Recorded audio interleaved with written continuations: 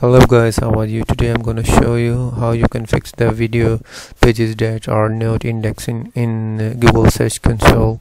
So you can fix them very easily.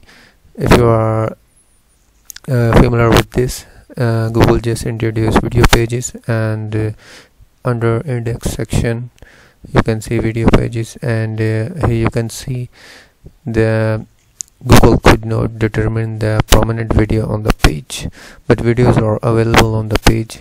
So affected pages are 57 so fix that.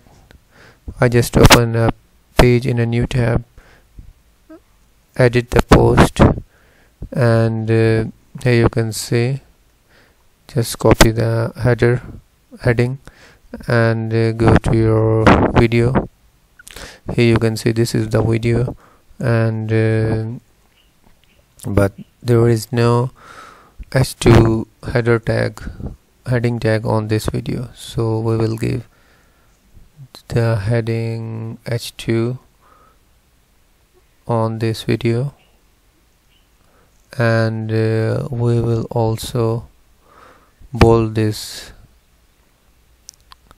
caption under the video and uh, just update. So by doing this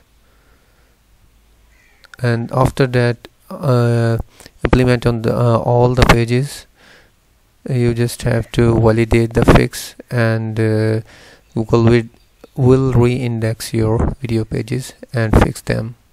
Peace for now